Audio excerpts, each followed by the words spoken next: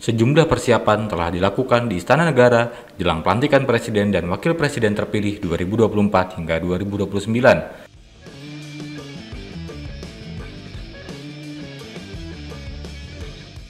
Rencananya, proses pelantikan itu bakal dilakukan pada Minggu 20 Oktober 2024.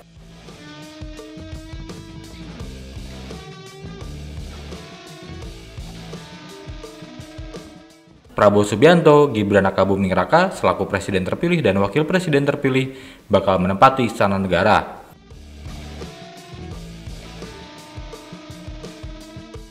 Berdasarkan pantauan, sejumlah kesiapan teknis telah dipersiapkan untuk acara pisah sambut presiden terpilih dan presiden sebelumnya Joko Widodo. Kesiapan itu bisa dilihat langsung oleh masyarakat dari Jalan Medan Merdeka Utara, Jakarta.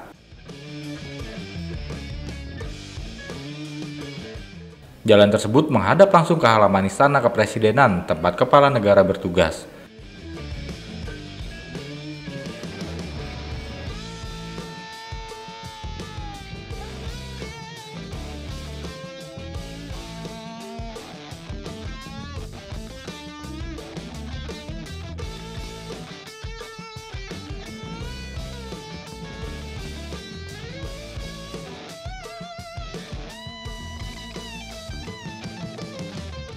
Terdapat juga dua buah tenda dan struktur videotron yang dipersiapkan oleh pihak Istana Kepresidenan.